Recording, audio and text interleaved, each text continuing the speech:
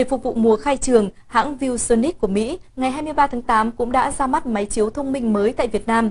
Thiết bị này có khả năng trình chiếu và tương tác gần màn hình, cho phép người thuyết trình chỉ cần sử dụng một bảng trắng hay bức tường phẳng để làm màn hình chiếu. Đây là máy chiếu ViewSonic PZD8353S có khả năng tương tác thông minh đa điểm qua chiếu bút điện tử trọng lượng nhẹ. Khi sử dụng máy chiếu này, giảng viên giảng bài có thể dễ dàng tương tác với các file như tương tác trên màn hình cảm ứng như thế này.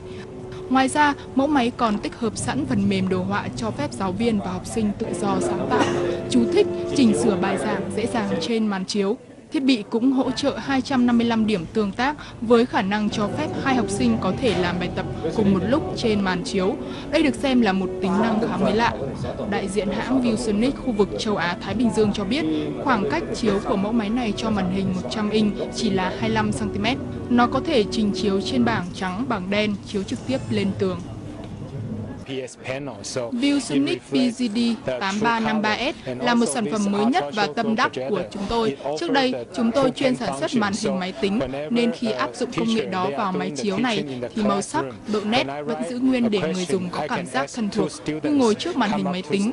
Đặc biệt là công nghệ tương tác, khi giáo viên giảng bài, học sinh có thể viết câu trả lời trực tiếp lên trên màn chiếu.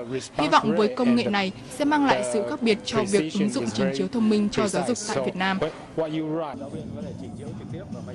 Còn đây là những thiết bị máy chiếu ở phân khúc 3D HD với hai mẫu màn hình rộng thuộc series PZD6 là PZD6544W và PZD7820HD được khá nhiều người xem thích thú.